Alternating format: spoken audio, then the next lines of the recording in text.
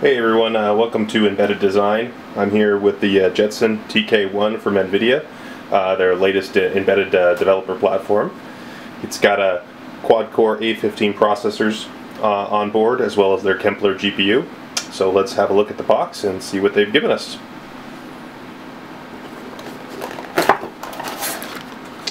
Alright, I've peeked already a little bit, but here's the main board.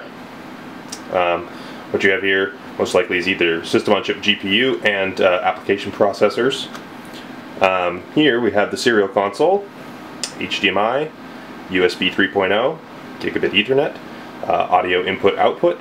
There's also a micro USB.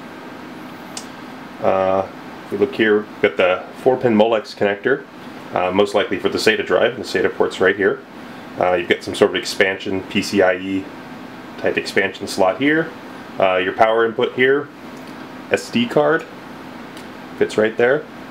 Uh, JTAG header for hardware debugging, and then you get your, your I.O. here as well. Let's see what else they've given us here. So we get ourselves a nice little uh, software developer kit manual, quick start guide. In door number one, looks like these are feet for the for the main board. Not that exciting. IEC plug because I'm in the in the United States. Get one of those. Uh, micro USB cable. Now this looks familiar to me.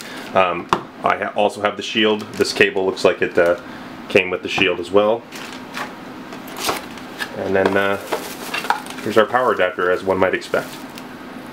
So that's what they give you in the box. Uh, next episode I'll be digging into this a little bit more and uh, maybe I'll display some of the functionality this board uh, has to offer. Thank you.